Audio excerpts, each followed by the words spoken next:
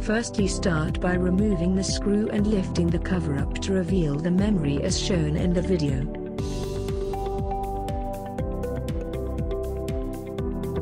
Now carefully loosen the memory screw as shown in the video. Flip the laptop over. Carefully flip the keyboard over and place gently on the laptop screen. The cable connecting the keyboard to the laptop will be held in place with sticky tape. Gently pull this away.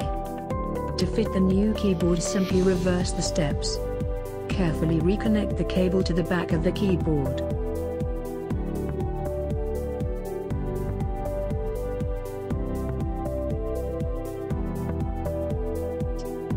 Now tighten the screw on the back of the laptop that you loosened earlier and place the cover back on top.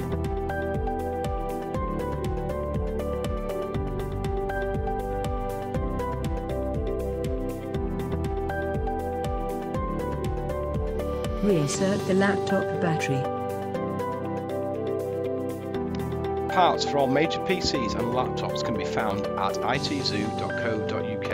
We also stock a full range of PCs, laptops, tablets and servers.